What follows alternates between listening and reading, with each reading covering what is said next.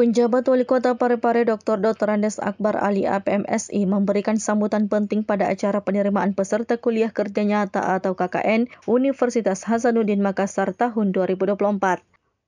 Dalam sambutannya, Dr. Akbar Ali menekankan kepada mahasiswa tentang pentingnya menjaga nama baik dalam berbagai aspek kehidupan mereka, Seluruh peserta KKN Unhas 2024 menyampaikan beberapa pesan penting yang harus diingat dan dilaksanakan selama menjalani program KKN di Kota Parepare. Pertama, menjaga nama baik alma mater.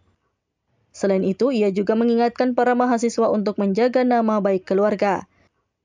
Dr. Akbar Ali juga mengingatkan pentingnya menjaga nama baik kampus dan kota Parepare dengan berkontribusi positif di masyarakat dan menjaga nama baik kota Parepare dengan menghormati budaya serta norma-norma yang ada di kota Parepare.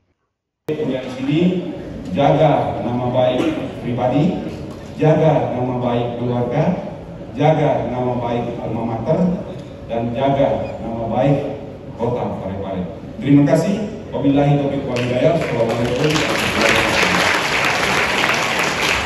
Muhammad Zulkifli, TV Peduli, mengabarkan.